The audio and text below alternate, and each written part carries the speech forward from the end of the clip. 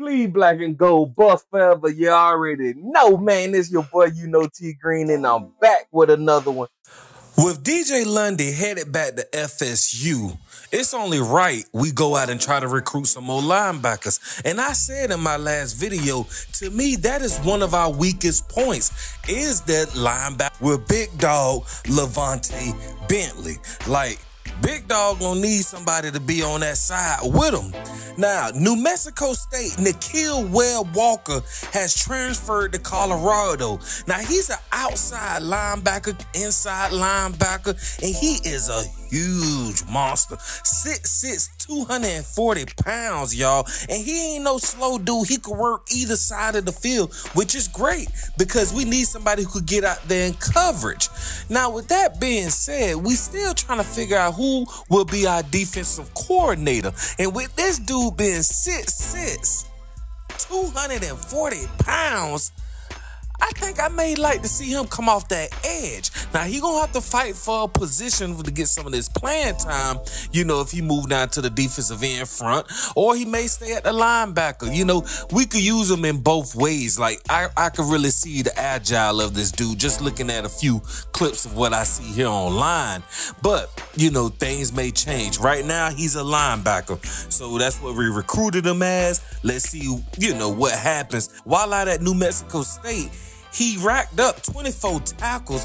Five of those was for losses. He had three sacks last season. So he did pretty decent. You know, he wasn't like some chump change, you know, getting one or two tackles here and there and, you know, not really producing. So he did his thing. He was part of the 2022 recruiting class out of Bridgeton Academy. That's way up there in Maine. So, you know, playing up here in that cold weather won't be nothing to bruh. So, hey, I like to see what he do out here.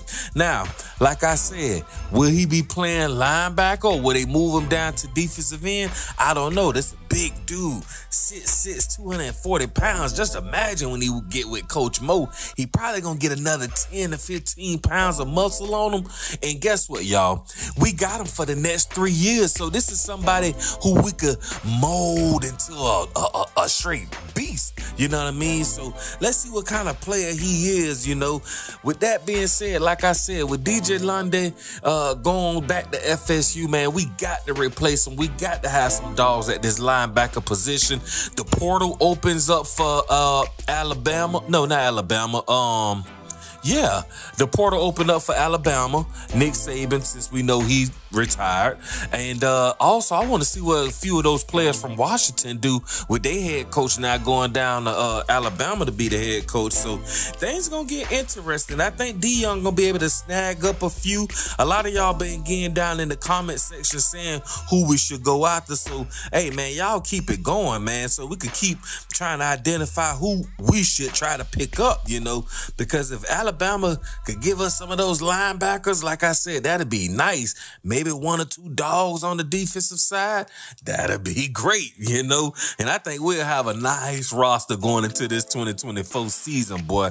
I'm telling you, the Big 12 gonna have a lot to worry about if we get a few more pieces to this puzzle. Right now, we got enough pieces right now where we should be in some bowl games, but we trying to go further than that, though. So, hey, let's just keep our eyes and ears open, baby, and you already know the motto. You already know the motto, man. Another day above ground is what? Truly a blessing. Like, share, subscribe, tune in with your boy, you know, T Green. I'm going to be right back with another one.